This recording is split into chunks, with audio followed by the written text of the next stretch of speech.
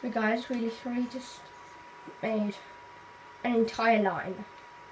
Well, it's not too long, but it's literally of singers.